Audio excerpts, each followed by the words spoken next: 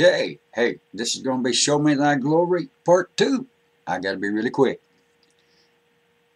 I got a Bible up here in front of you on the screen. You can see me over here to the left. I got less than five minutes or it won't let me stop and save it. So, here we go. Turn with me. And here are the scriptures in front of you. I try to blow them up where we can see them. Turn to Exodus chapter 34, verse 1. Right The very next chapter is what we just finished. And the Lord said unto Moses, Hew thee two tablets of stone like unto the first. And I will write upon these tablets the words that were in the first tablets which thou breakest. And be ready in the morning, and come up in the morning unto Mount Sinai, and present thyself there to me in the top of the mount. And no man shall come up with thee, neither let any man be seen throughout all the mount. Neither let the flocks nor the herds feed before the mount. You better keep them back.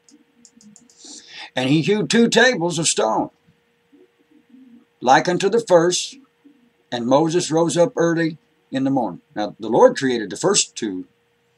Now, Moses is making his own stone of tablet, but yet the Lord's going to write on them and redo it. Because they're broken. He has to have something in the flesh to show the people it came from the Lord and not him up there chiseling the commands, the Ten Commandments and went up unto the Mount Sinai as the Lord had commanded him, and took in his hand the two tablets of stone. And the Lord descended in a cloud. Here we come. Here we go. And stood with him there and proclaimed the name of the Lord. We got the Lord descending right there with Moses, and he's proclaiming the name of the Lord. The Lord proclaiming the name of his Father, the great I am. Go and tell him that, Moses. And the Lord passed by before him and proclaimed, look at here, and the Lord passed by before him and proclaimed, the Lord, the Lord God. We've got the Lord appearing unto him, passing by him, proclaiming the Lord, the Lord God. He's proclaiming his Father. Merciful and grace, gracious, long-suffering, and abundant in goodness and truth, keeping mercy for thousands, for iniquity forgiving iniquity and transgression and sin, and that by no means clear the guilty, visiting the iniquity of the fathers upon the children and upon the children's children unto the third and to the fourth generation. It took all those generations for things to finally open up and let them go in and, do, and, and go through. And Moses made haste and bowed his head towards the earth and worshipped.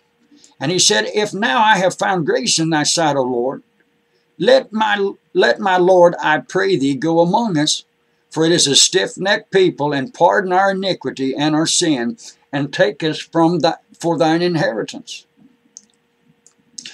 And he said, Behold, I will make a covenant before all thy people. I will do marvelous, marvelous, such as has not been done in all of the earth, nor in any nation. And all of the people among which thou art shall see the, the, the work of the Lord for it is a terrible thing that I will do with thee.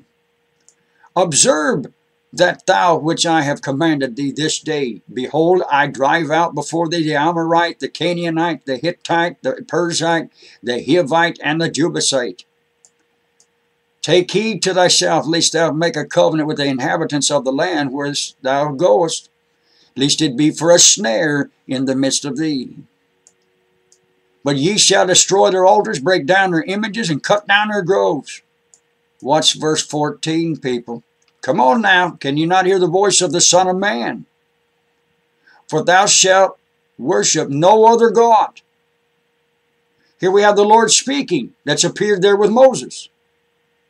He says, For the Lord, whose name is jealous, is a jealous God. We've got the Lord speaking unto Moses, the Son of Man, and he's telling you that his God my Father and your Father, my God and my God. I go unto my God and your God. Aha. He's telling you about his Father is a jealous God. We have the Lord. My Lord said unto my Lord, Least thou make a covenant with the inhabitants of the land. And they go a whoring after their gods and do sacrifices unto their gods. And one called thee, and thou eat the sacrifice, and that thou take the daughters and thy sons and thy daughters a whoring after their gods and to make thy sons go whoring after their gods. Thou shalt make no molten gods. We're going to bring it right there. And I'll bring another one to, with the rest of this chapter and show you that it's clearly the Son of Man speaking there with Moses many, many times. There was times that the Father was speaking from heaven unto Moses. But now we have the Son of Man. And the Son of Man is clearly telling everybody right here. Because the Lord is speaking. Which Lord? The Son of Man is speaking there with Moses and making appearance unto Moses. Thou shalt worship no other God. For the Lord, he's talking about the great I am, his Father, whose name is jealous, is a jealous God. We have the Lord, the Son of Man, speaking unto Moses, telling you about his Father. And he will be the one to go before his face, even though he couldn't see at all times the Son of Man. May you be blessed and stay tuned. Amen.